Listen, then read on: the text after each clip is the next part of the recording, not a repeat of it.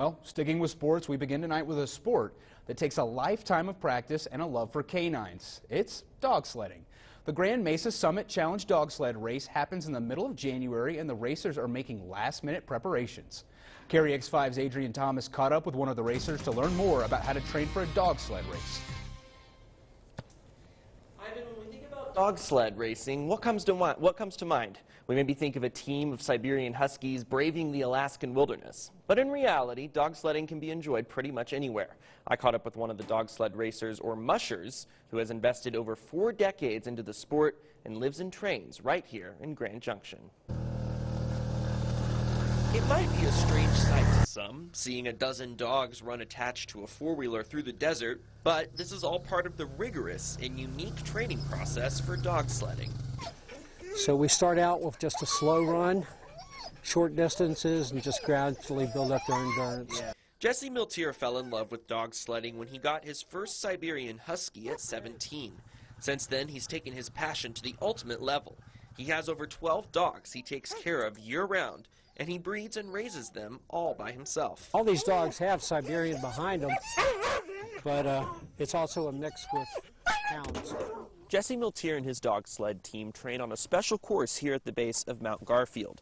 It's all in preparation for the Grand Mesa Dog Sled Challenge in the middle of January. Jesse Miltier says training on this course helps his team get technically prepared. You know, just like a chain, uh, the, no chain is any stronger than its weakest link.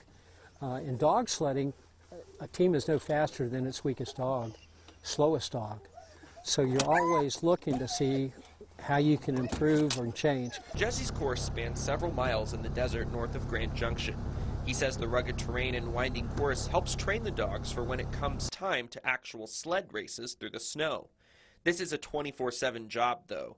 Jesse keeps his dogs on a rented piece of land in special enclosures and even imports their food from Canada.